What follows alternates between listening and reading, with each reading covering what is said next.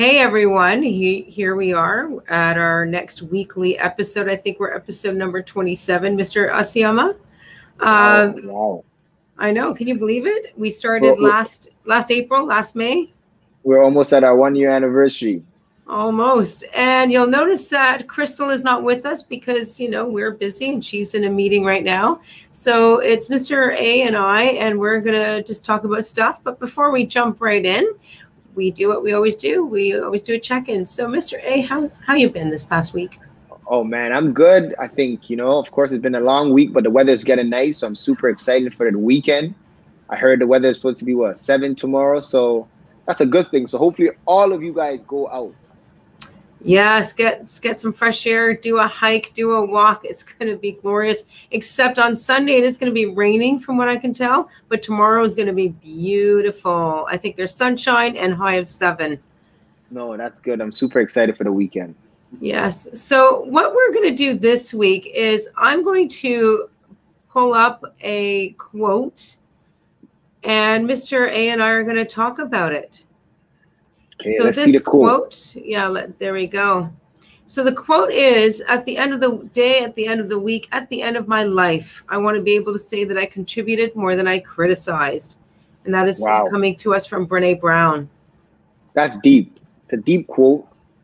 Um, I guess my thoughts on it, it kind of feels a bit about, you know, making sure you're living life to the fullest making sure that you're being intentional. It says that I want to be able to say that yeah. I contributed more than I criticized. So it's more about, you know, really looking at things because we always have that choice that we make of am I gonna complain?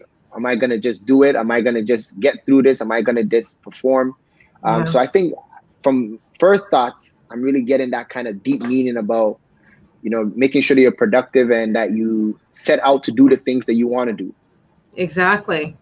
And I, for me, it presupposes a level of confidence that you are worthy, that you see yourself. You know, if I'm going to say that, then, you know, I've got to know, okay, I have something to give. Uh, I'm not just going to, you know, stand on the sidelines of life and say, oh, I wish I could be like that person. I wish I could be like them. Oh, look at them. They're so awesome the way they do stuff. This presupposes that no, wait a second. I deserve to be in the game, not just sitting on the sidelines. I have something to give. No, I really like that. I really like that because, and I like that at the end of the day, which really me, makes reference to our time here is limited. Mm-hmm. So we have to make the best of it.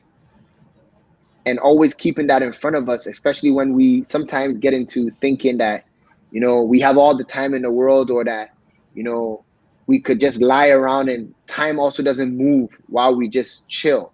Right. You know, so I think what it really shows that there is a, a due date for everything, right? And so you have to get to the things that are important to you. You want to be able to say that you focused on it and you got it done. Exactly. It, it's this sense of, uh, okay, here I am. I'm only here for, I've got a day. What am I going to do?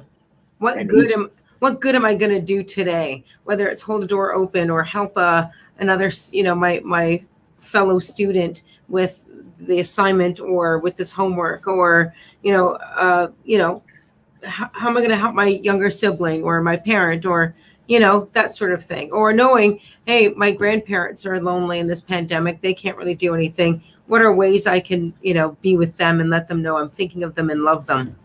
No, you know what? That's what I like about that at the end of the day because mm-hmm.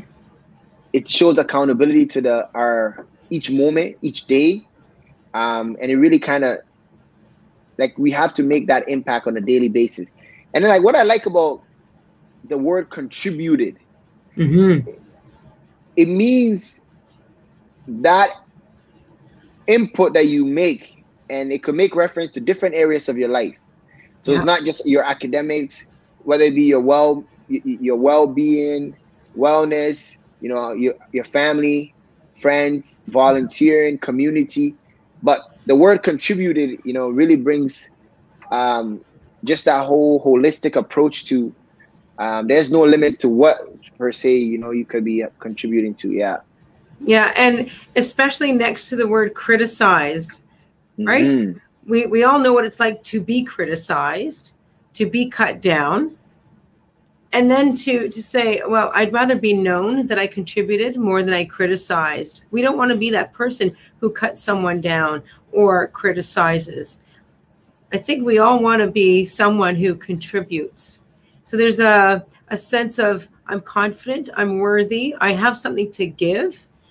And there's mm-hmm. a sense of uh, confidence uh, you know a, a sense of security of over your identity because people who criticize i mean i, I can't diagnose but I, I think it's kind of common knowledge people who criticize tend to be a little insecure and fearful so i think we want to be confident people we don't want to be insecure people that's it and the, you know the criticize sometimes you know um, you just want to make sure that you're looking at things and also trying to see both not just the negative right but the mm-hmm. positive mm-hmm. in all things you know so where yeah, the, critique, potential. the potential you have to see it. Because it's easy to critique everything right and have mixed emotions feelings yeah. opinions.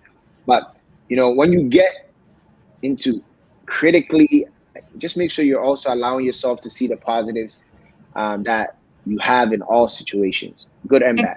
Exactly. And of course we are a faith-based school. You know we're christian we're catholic. This is exactly what jesus was all about. You know he, one god became human so if we want any any stronger validation of being human i can't think of one other than god said being human was mm-hmm. okay so okay that i'm gonna you know send you my son to be human and two we see jesus always contributing more than he criticized and and when he did criticize it was because well, he's the son of God, and he saw the people who should have been doing better were not doing better. That's it. So we all can contribute. You have gifts and talents. Okay, you may not be a Brene Brown or you know somebody else who's you know already out there doing stuff, but you're you, and the world needs you, your version That's of you. It. Yeah and that's so impactful impactful because you don't have to be anybody else Your, the contribution comes from you and it becomes unique to you and becomes what you bring to the you know to the to the world exactly so at the end of the week and we are coming at the end of the week this is a good time to look back okay how was the last week did i contribute more than i criticized and then if the answer is not really uh, you know don't beat yourself up Tomorrow's a new day. Mm-hmm. Ba- baby steps. Look at ways you can still contribute. Even in a pandemic, there's still things you can do. And I, I totally agree with it. And that's the daily journey, just making sure that your output is good. Yeah. And, you know, of course, you're resting when you need to, but then you're also being able to um, produce. Exactly. So I think we'll end it there. This week's episode will be short and sweet because in all our previous episodes, we basically have said a lot about mental health, spirituality. We've said the same things over and over again. Uh, so I think we're going to maybe start shifting focus and looking at quotes that we can talk about and how and that helps. That. I love that idea. And it gives us kind of direction. So there's your little jolt of, you know, uh, you know, self-esteem boost and feeling better about yourself. You guys have a good week. Hang in there. Mr. A, do you have any big plans for the weekend? You know what? I'm just going to get outside and I hope all of you guys do the same thing. Get some fresh air. It's going to be beautiful. I can't wait. I can't wait. I might take a longer walk with my dog just because the weather weather's going to be great. You so, everyone, to. yep, take care, Mr. A. You have a good weekend. Take care of yourself. Thank and you. We'll, we'll see you next week.